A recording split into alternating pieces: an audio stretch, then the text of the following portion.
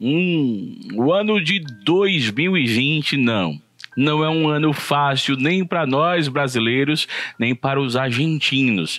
Faleceu Diego Armando Maradona, um dos maiores jogadores de futebol de todos os tempos. Ele tinha 60 anos e foi campeão com a Argentina na Copa do Mundo de 1986 no México. Quer saber mais? Então curte, deixa sua mensagem para o Maradona, compartilha Bloco Social Maradona começando.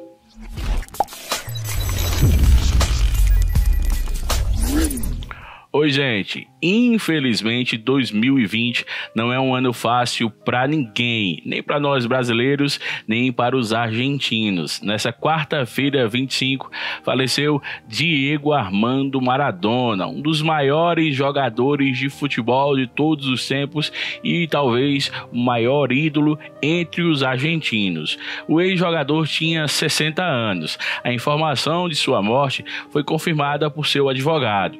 O campeão mundial da Copa Copa do Mundo de 1986 pelo México com a Argentina, estava descansando. Ele estava se recuperando, segundo o jornal Clarim de Buenos Aires, de uma cirurgia que fez no início do mês de novembro na cabeça. Bom, Maradona teria tido uma parada cardiorrespiratória em sua casa, em Tigre, região metropolitana de Buenos Aires. Maior ídolo esportivo da Argentina, ele nasceu em 30 de outubro de 1960 e cresceu no humilde bairro de Vila Florito, no subúrbio de Buenos Aires. Campeão mundial em 1986, quando teve seu auge na Copa do México, tornou-se uma das figuras mais populares e controversas da última década. Ganhou em 2000 a eleição popular feita pela FIFA na internet para eleger o melhor jogador do século século XX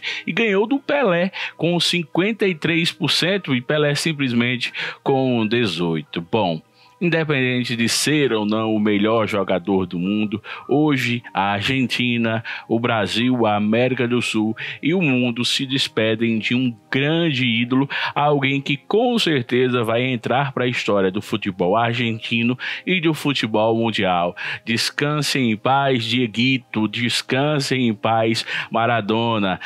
Obrigado por toda a magia que você trouxe no seu futebol. Bloco Social. Tchau, tchau.